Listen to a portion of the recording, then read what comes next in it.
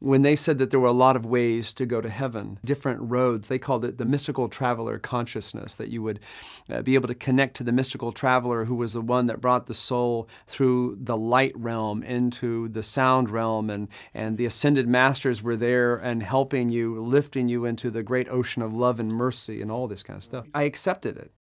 My dad was a tough guy, great guy, godly guy, but a tough guy.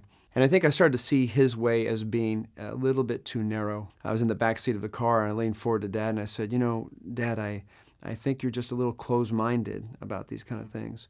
He said, uh, Look, if it's not in the Bible, I don't believe it.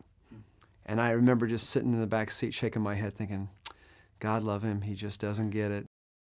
I'm Tom Patton. I'm a pastor here at Grace Church with Assimilation. I pastor a group called Cornerstone. I grew up thinking I was saved. I grew up actually at five years old thinking God called me into the ministry. And yet, as my life unfolded, I remember going into uh, junior high and high school and, and starting to be more influenced by uh, drama. Went to college and just got involved in fraternity life and eventually got into a movie and came to California. That was uh, 1982. I took a class that a friend of mine had offered to help me with my acting, and it ended up being a way into learning about this New Age church. And I was so impressed and seduced by this that I ended up being with this for five years. I would read every night the material, I would meditate two hours a day. I would literally sit in my chair and try to have like out of body experiences. And Jesus was there, he was one of the ascended masters. But so was Confucius, and so are the Hindu gods when you're in the acting realm, you try to be open to things. You want to be open to different philosophies and, and different ways that people think because you're trying to empathize with them. The blessing was I started doing poorly in my acting career. I started getting all, you know, sad and depressed, thinking my religion wasn't helping me. I went to a, uh, an astrologer and had my chart done. I paid her, you know, a lot of money considering I didn't have any.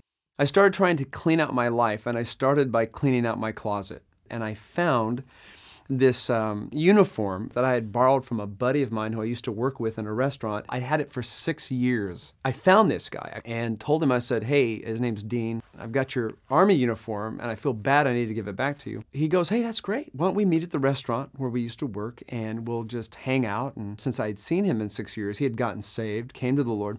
Now all he wanted to talk about was Christ. I said, Look, you know, you're a nice guy, but I don't need to see you again. And he said, Well, why don't you just one more time come and get to meet my wife? He'd gotten married. And so went to their house, had dinner, talked about the Lord some more. And he said to me, He goes, You know, Tom, I, I think you're seeking, you're struggling, but you're not saved. And, you know, that was it. I thought, how dare him, the audacity of that guy to say that to me. You know, what brashness and who does he think he is? And uh, I didn't want to talk to him. I told him, I said, you know, do not communicate with me again.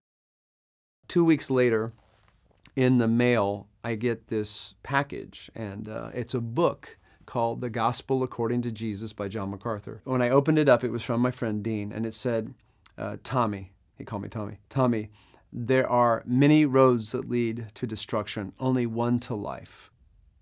For some reason, I just decided to read that book. Chapter one, I was already convinced that I was on the wrong side of salvation. And I realized, oh my, I am I'm not saved. This is true. Jesus is God. What he demands is complete and utter turning away from everything that you once were. I knew Christ was God. I knew His salvation was the only way. I knew that I had to come. I just didn't want to come. I was so scared. I didn't want to give up my life. I didn't want to give up all of my habits, all of my sin. And I realized that those things that I loved, that I was trying to hold on to, even even being an actor, even my profession, all of that would have to be surrendered. I basically held out as long as I could. I was reading the Bible every day, but I wouldn't I wouldn't come. I wouldn't come. And then one night, I don't, it was in November, uh, I don't remember the day, and I got down on my knees. I just gave up. My heart broke in two. I repented. I asked Him to forgive me on everything I could possibly think of, just my whole life. I asked Him to forgive me for my whole life. My affections changed. Everything changed. But it was from that moment. It was from the moment that I finally came to the realization by God's grace, because I couldn't have seen it on my own, that my life of unbelief was a total rejection of everything that Christ wanted from me.